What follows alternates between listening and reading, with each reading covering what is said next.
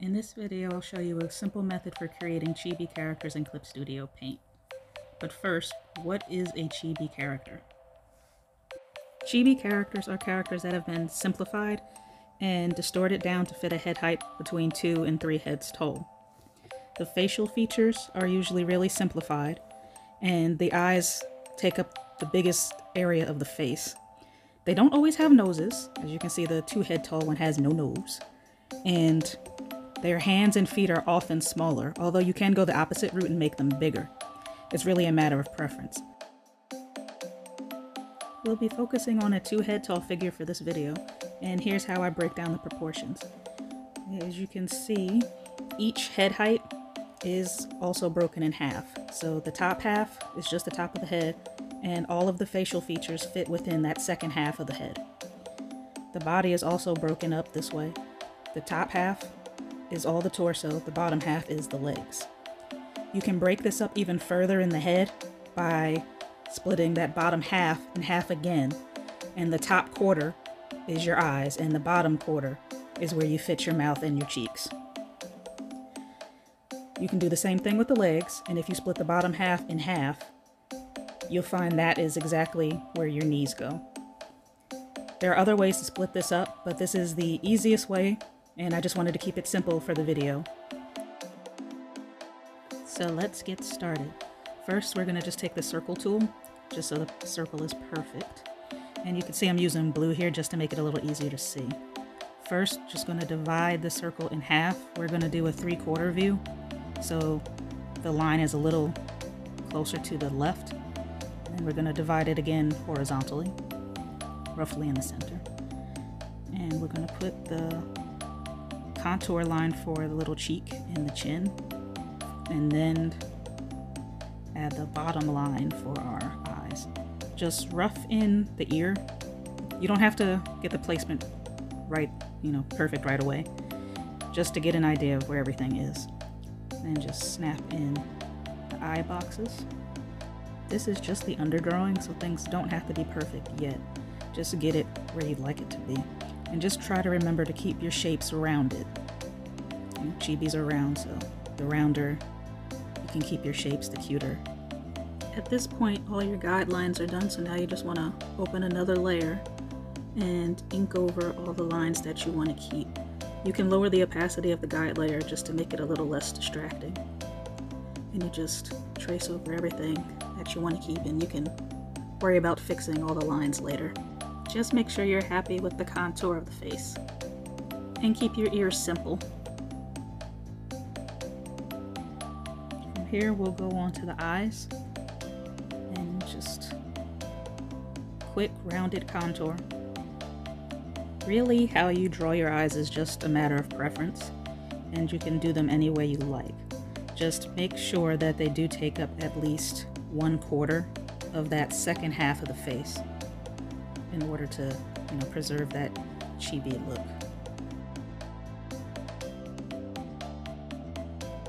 I'm gonna jump down here to add the mouth and you can do this any way you want to as well. Just try not to make it too wide. You can make it as, you can make them open their mouths as far as you want to. They seem pretty rubbery, but just try not to make it too wide. And I'm just gonna jump back up to my eyes, and make sure everything works together. And I do like to do both sides at the same time just to help with the symmetry, make sure everything is facing the same direction. Everything's just quick lines and simple shapes. Even the eyebrows, keep them simple. And do them however you like. Do more, do less. I like to make my eyebrows a little thick, that way if I want to change their expressions, they're easy to see. At this point I also like to go in and fill in my darks. You can save this part until the coloring stage, but I just like to go ahead and get it in now. And just go ahead and add in any little detail lines I want to have. Just go on ahead and decorate them however you like. And then I'll just go on up and start on the hairline.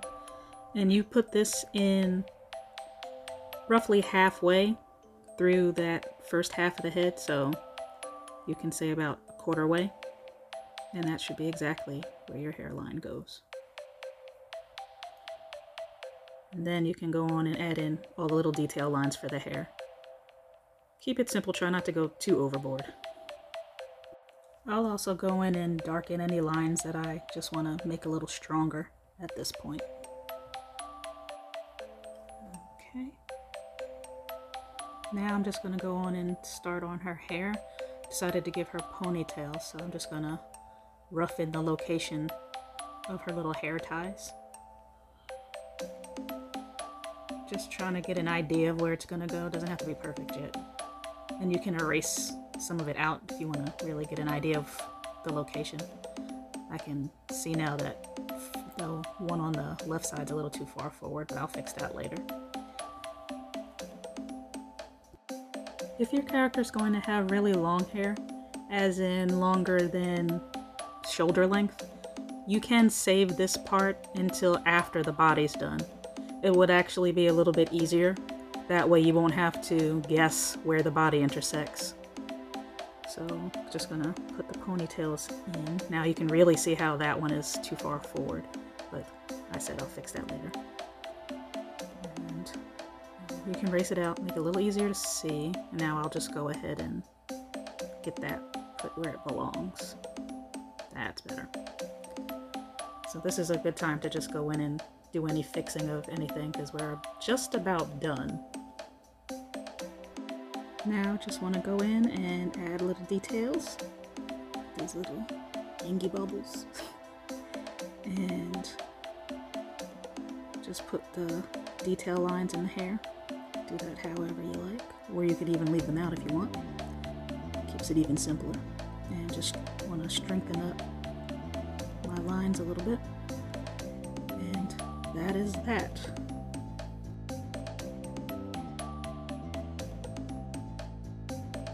Just wanted to take a couple seconds to show you that the proportion breakdown is the same regardless of which direction you decide to face the head.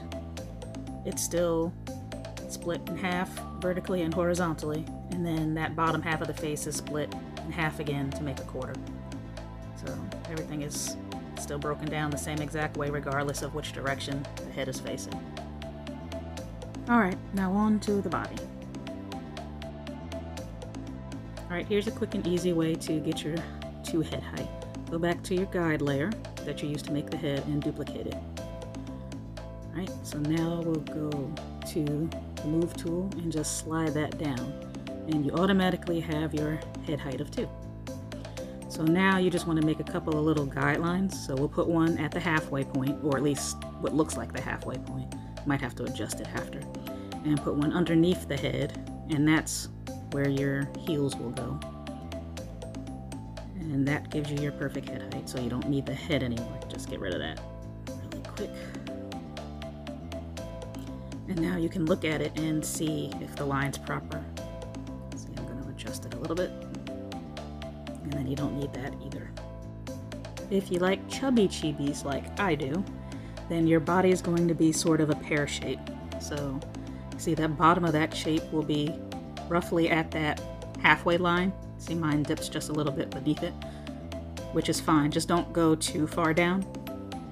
And just try to keep everything nice and round. Fix it as you go. The rounder the better. And if it's round enough, you'll find that that bottom area of it, if you make a line across, will create a rough circle. Okay, now for our legs. It's a shallow S-curve. That's our halfway point there. It will bend outward for the upper leg, and then it will curve back inward for the lower leg at the knee point, which is halfway. And the leg will look a little long at this point because it does look like there's too much, but by the time everything is finished, the proportions will look correct. The back of the upper leg really doesn't need any curve to it, just to keep things simple. And the bottom should curve outward, just to give them, you know, the illusion of a calf. Okay. The other leg, same thing. The knees should still line up even though the leg is at a different angle. the knees are still at that halfway point. And I'm putting the knee up this time. So as you can see, the lines are really simple. It's just, you know, a little curve here, a little curve here. And the chibi we're doing this time is going to have very small feet. I was talking about that earlier. Feet can be large or small. And you can fiddle around with the lines for the legs as you go and decide whether you want, you know, a little thicker or a little thinner. You can erase your lines to get a better idea of what you got. And just basically mess with it until you find what you like. I'm just gonna clean things up a little to make things a little bit easier to see. You don't really have to do all of this yet. You can save all of the fixing until you get to the inking stage. I just want to do a little bit right now. Now for the arms, the elbows roughly at the halfway point, just like it was for the knees. And just like with the just like with the legs, it doesn't really matter which directions the arms are facing. The elbows should be at the same point, halfway. And with chibis, their arms are a little bit shorter. So as you can see, if it was a normal size figure, the arms would be a bit longer. Actually, that's a little long, but we'll fix that afterwards. So um, make them a little bit shorter and it helps to preserve that, you know, kind of cute look if their arms aren't too long. Think proportions like a baby. It's the same thing. Just keep the arms on the shorter side and try not to make them too thick or too fat. Not too thin either, but, you know. Really, you just do whatever suits your style. Everybody has a different way of doing this, so you just have to do whatever looks best. Okay, as for the hands, you also want to keep them on the small side. The overall size of the hands roughly half the length of the arm. So from the wrist to the elbow, that's about as long as you want your entire hand to be. Uh, they're cuter if they're a little chubby. Um, you can decide how many fingers you want to do. See, I'm just going to do a three finger hand. You can do a four finger. It depends. Or if you don't want to, you don't have to do fingers at all. You can do a mitten hand, which simplifies things even further. It's really just a matter of preference, whatever you want to do. Just keep your fingers round and your little thumb. Make sure that's nice and round too. For this hand, I'm gonna sort of put her hand in a loose fist. And with this shape, you might have to cheat a little bit and make the hand slightly bigger than it should be. Not so much that it's no, you know noticeable for anyone looking, but you might just have to fudge it just a tiny bit so that you can actually see all the fingers and see what position the hand is actually in. As long as you don't go overboard with it, it shouldn't be noticeable.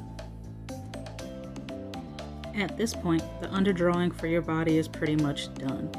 All that's left is to go in and clean up your drawing, fix anything that needs fixing, and then erase anything that's too distracting.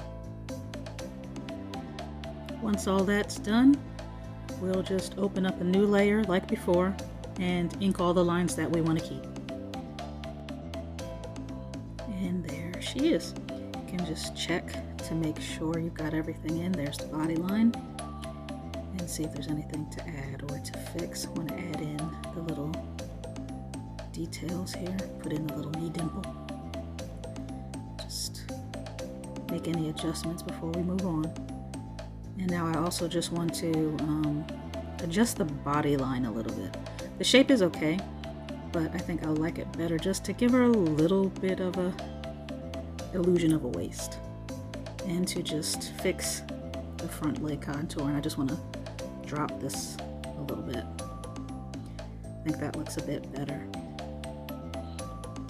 At this point you can just adjust it however you feel is necessary and that's pretty much it. Now here she is all finished just so you can see. Um, here's how the clothes are done. It's really not uh, not too much. you just come off the body line just a little. Doesn't have to be too much there. Pretty much just follow the contour. Same thing with the shoes, just make sure you come off of it just enough so that it doesn't look like it's painted on. I also added a couple of clipping layers just to change the color of some of the lines and give her a semi-lineless look. And here's how that looks with the color. And that's it. There she is. I hope you found this little video helpful and we'll go on to draw some squishy little chibis of your own. Thanks for watching!